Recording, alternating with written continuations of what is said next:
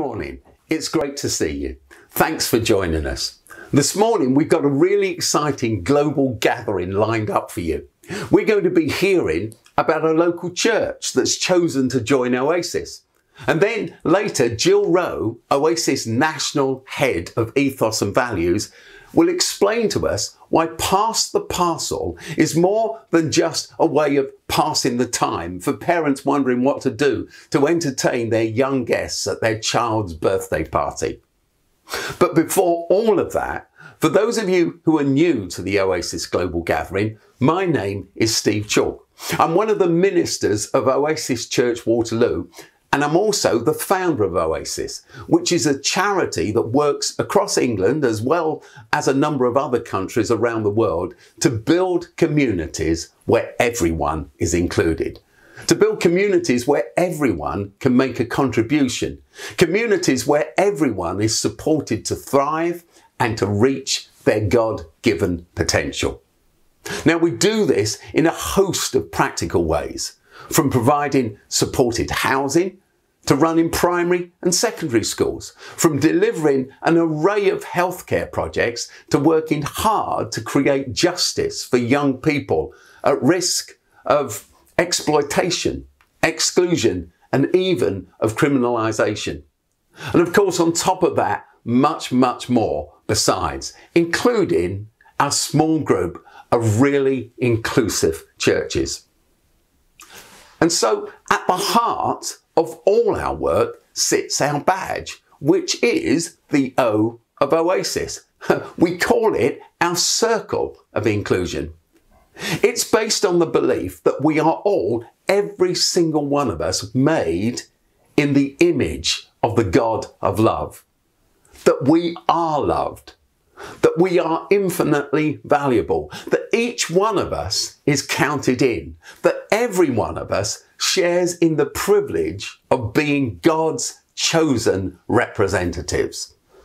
So before we rush on, I invite you to pause just for a moment, to stop in your busyness, to relax, to breathe. Breathe in and breathe out and to reflect on that extraordinarily wonderful fact. You, you are made in the image of the God who is love. Now, Anne Dannerol is the leader of Hull Community Church, who've just chosen to become part of Oasis' small, as I said, but growing group of inclusive churches. And for this week's Connect, Nathan Jones caught up with Anne to find out more.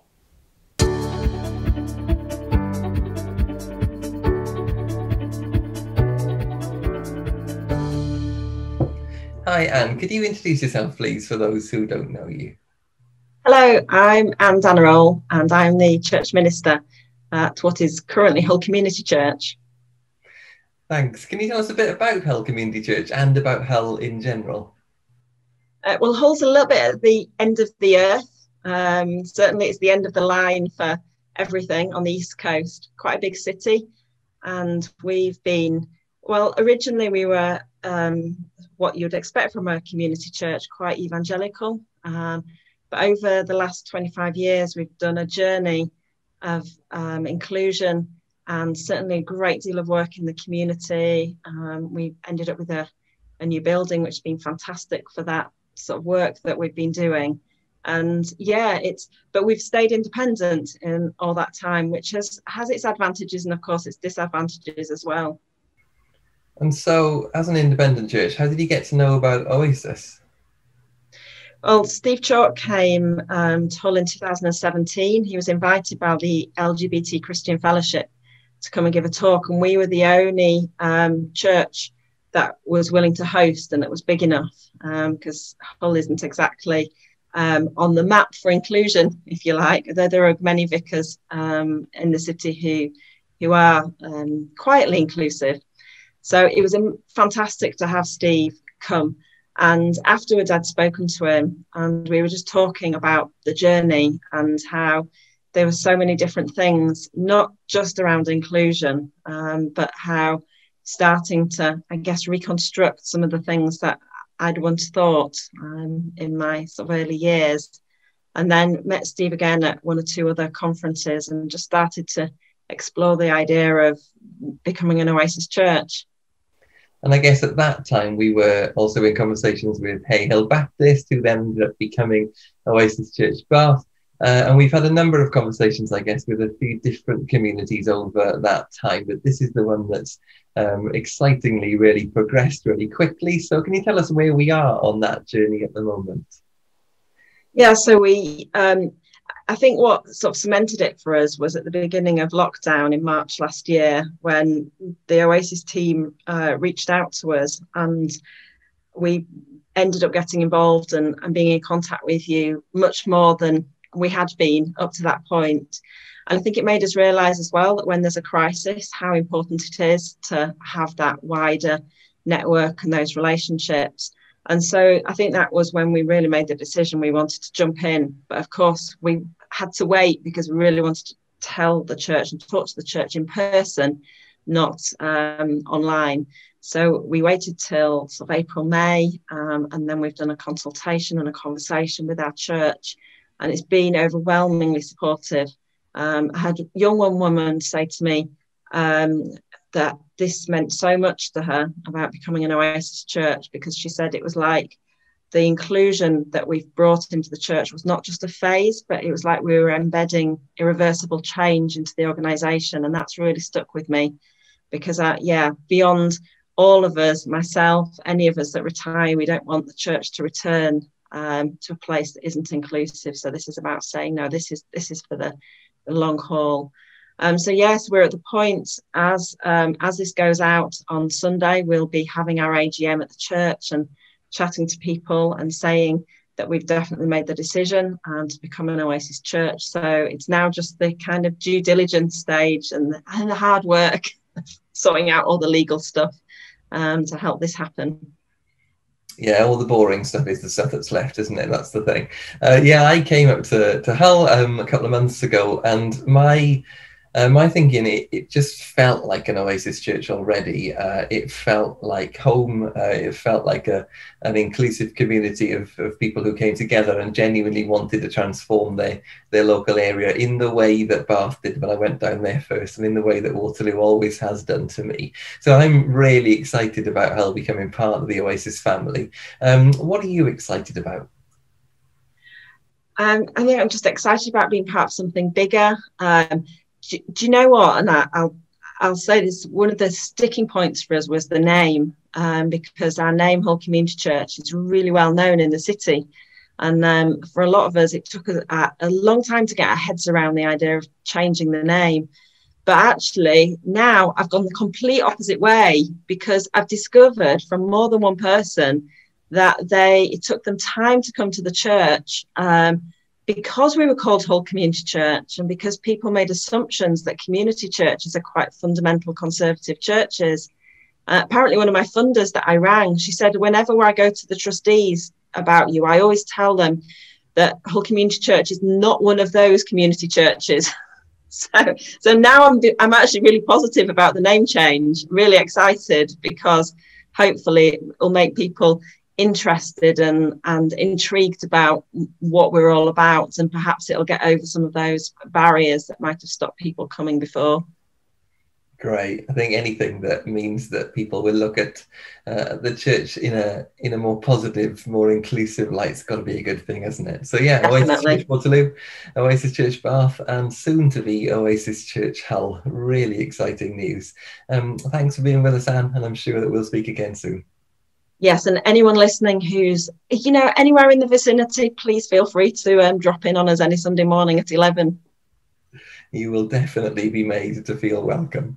Thanks, Anne. Bye. Bye.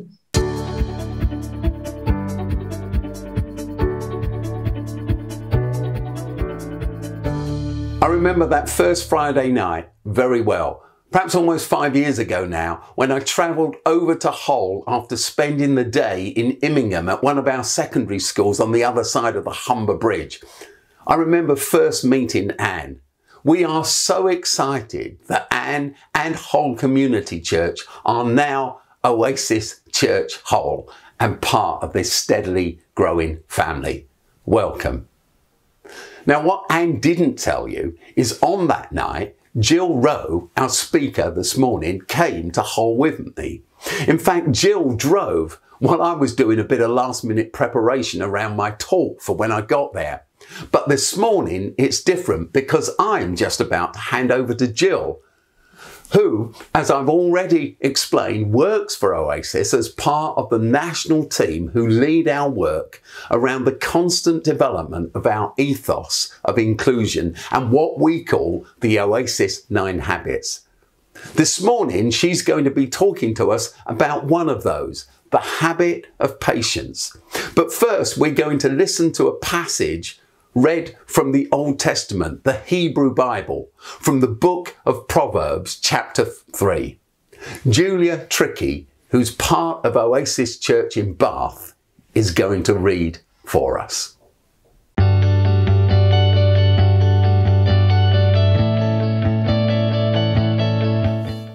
Proverbs 3, verse 13 to 24. Blessed are those who find wisdom, those who gain understanding, for she is more profitable than silver and yields better returns than gold. She is more precious than rubies. Nothing you desire can compare with her. Long life is in her right hand, and in her left hand are riches and honour. Her ways are pleasant ways, and all her paths are peace. She is a tree of life to those who take hold of her. Those who hold her fast will be blessed. By wisdom the Lord laid the earth's foundations. By understanding he set the heavens in place. By his knowledge the watery depths were divided, and the clouds let drop the dew. My son, do not let wisdom and understanding out of your sight. Preserve sound judgment and discretion, for they will be life for you, an ornament to grace your neck. Then you'll go on your way in safety, and your foot will not stumble.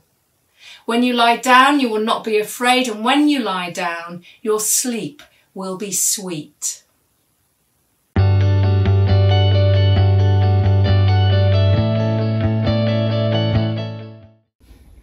Hi, my name's Jill Rowe and I'm the Ethos and Formation Director for Oasis, and I'm also part of the leadership team at Oasis Church Waterloo. I wonder how good you are at waiting. Do you remember playing Pass the Parcel as a kid, which was basically a game of test my patience? That moment when the parcel is coming your way and uh, you're absolutely convinced that the music is going to stop when it gets to you. And so you grab the parcel out of the hands of the kid next to you and lo and behold, the music doesn't stop. It goes on by and then it does stop at the kid on the other side of you. If only you'd been more patient. Who's your greatest irritant at the moment? Can you picture them? The truth is that our greatest irritant is our greatest teacher because that person is actually teaching us patience. So annoying, isn't it? And being patient is another one of our Oasis Nine Habits, uh, a part of this series of talks that we're doing at the moment. And just as a reminder, we talk about the habits as an invitation to a way of life characterized by being humble and hopeful and honest and considerate and compassionate and self controlled and uh, forgiving and joyful and patient. And they emanate out of that teaching of St. Paul that we come across in Galatians about the fruit of the Spirit. And they also are also wrapped up in uh, his description of love that we read about in 1 Corinthians. Paul describes love as patient. So there's something in here about the need for us to develop uh, the habit of being patient uh, to ensure that we are in and able to be in good, healthy relationships with others. Patience needs to be built into the very fabric of the way we relate to one another. A few years ago, I was in California and I was watching a friend of mine surf And it struck me as I watched that there's a huge amount of waiting involved in surfing. I'd imagine that surfers try and ride every wave that comes, but they just don't do that. It's not the case. Waves come in sets. And so surfers will sit and wait for the right wave to come at a specific point in a set. And that wave will be a particular type of wave. It will be one that won't swallow them up or spit them out. It's the one that they'll be able to ride and express themselves. You see, there's wisdom in the waiting. So there I am on the beach watching and thinking to myself, well, this is a waste of time. Why don't they surf more? But those with wisdom, uh, which comes through being patient, they know. They know that being patient brings reward. And not only that, um, in the waiting, they're learning, they're noticing, they're seeing, they're experiencing. In fact, it's like they're able to mine life much more deeply um, uh, than the rest of us in that moment. They're curious and interested and seem much more present. Gaining wisdom, being patient, these two things are inextricably linked. Let's pause just for a moment. I want you to close your eyes. I know that sounds weird, but it's okay. And with your eyes closed, I just want you to notice your breath. You may not have noticed it uh, before in this way. Maybe you've not even taken a breath. It feels like you haven't paused in a while. You might have said those exact words. So, with your eyes closed, I want you to notice your breath and the way that the air fills your lungs. Allow your breath to slow down so that you take deeper, slower breaths. Picture your hand rising and falling as you breathe in and as you breathe out. As you breathe in and as you breathe out. As you breathe in and as you breathe out. And before we rush away from this, how did you feel what did you notice as you were doing that? Calmer, more present, more at peace, happier, more focused, clearer in your thoughts. We create lives and therefore also create a world that seems to be in a constant hurry. And at the same time as being the perpetrators of this, we're also the victims. We suffer at the hands of the world being done in a hurry. There are things to be done, places to be, jobs to do. There is a caveat in everything I'm saying, and that is the holy frustration that we should have at injustice. But it's also true that patience is needed in holy frustration. Think how long it can take for justice to come.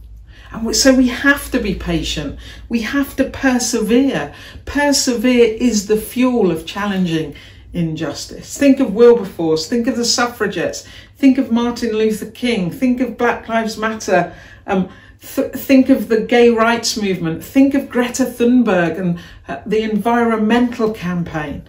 But let's not get stuck in the holy frustration point and miss the richness of the invitation of what greater patience can bring in our own personal lives as well.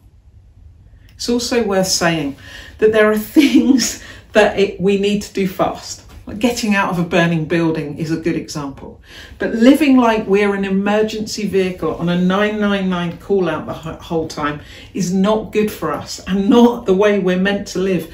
Stress such a way of life causes is not sustainable. And even if we think we can manage it, an honest conversation with those closest to us would probably help us to see that the stress lands on them, even if it doesn't touch us. Impatience, it's addictive. The more we feed it, the stronger, more powerful it becomes.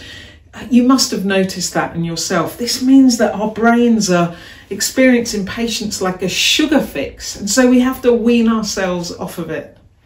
And this begins by having the courage to face up to our own reactions and responses and not run from them or blame others.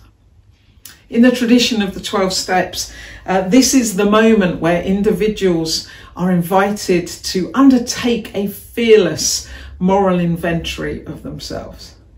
That's like a deep, hard look at who we are and how we are.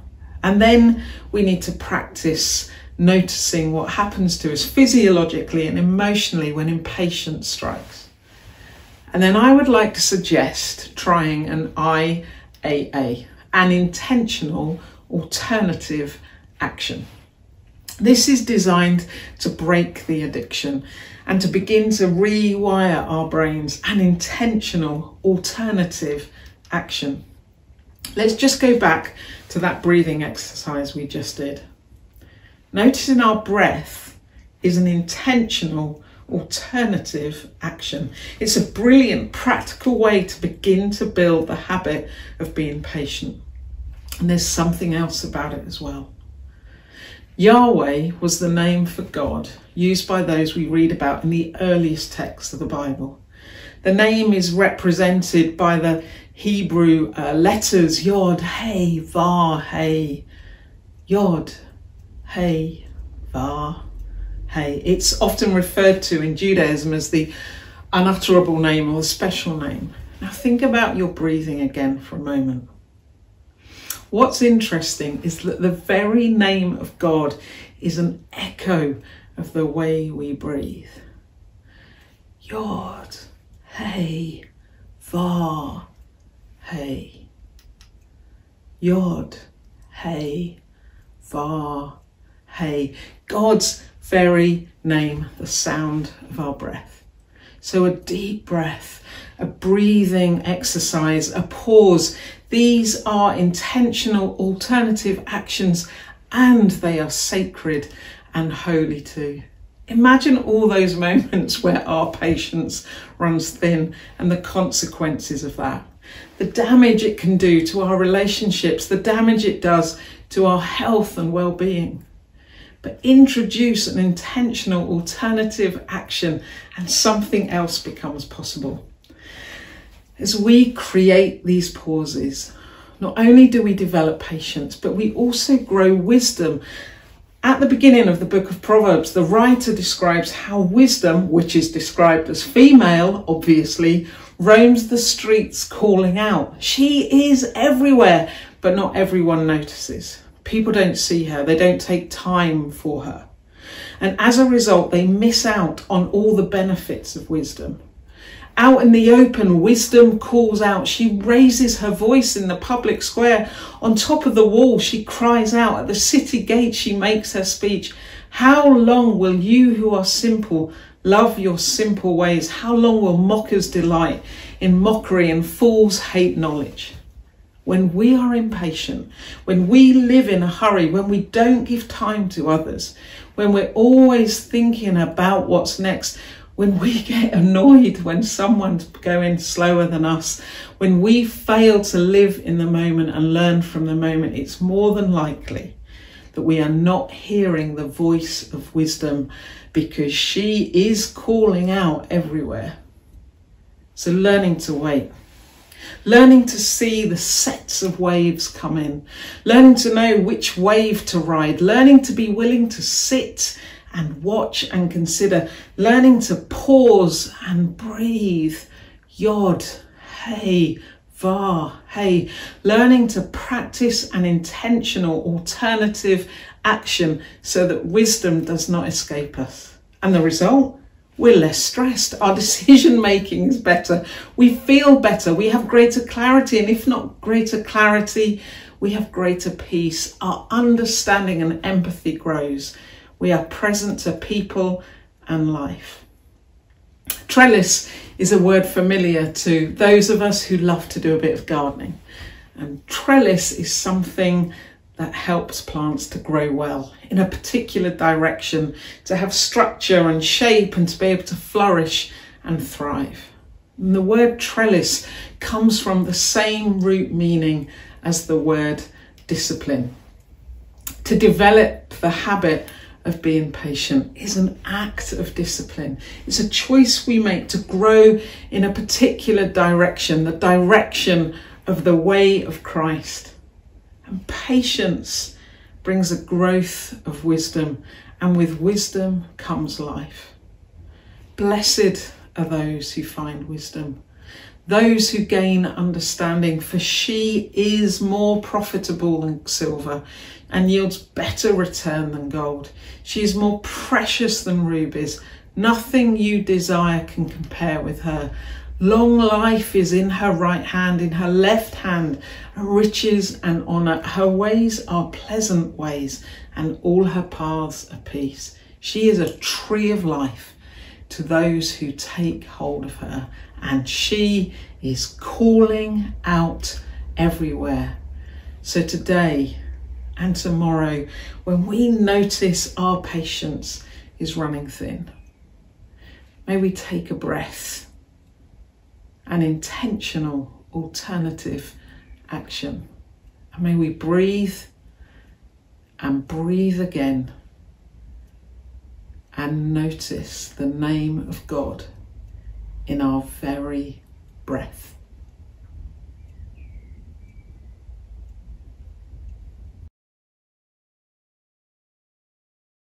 Gaining wisdom and being patient. These two things are inextricably linked. Impatience is addictive. The more we feed it, the stronger and more powerful it becomes. Our greatest irritant is our greatest teacher because that situation or person is teaching us patience. To develop the habit of being patient is an act of discipline. It's a choice we make, a choice to walk the way of Christ. Let's pause and create the space to pray or to reflect as you choose on these truths, truths that Jill has so clearly set out for us. And to help us, let's listen again to some of the words of Proverbs chapter 3. Blessed are those who find wisdom, those who gain understanding, for she is more profitable than silver and yields better returns than gold. She is more precious than rubies. Nothing you desire can compare with her. Long life is at her right hand. In her left hand are riches and honour. Her ways are pleasant ways, and all her paths are peace. She is a tree of life for those who take hold of her.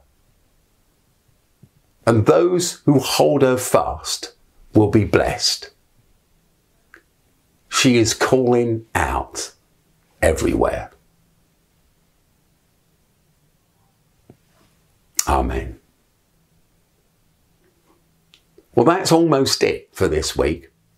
I'll leave you with this wonderful rendition of the song Sing to the Lord, O my soul. And we'll see you next week.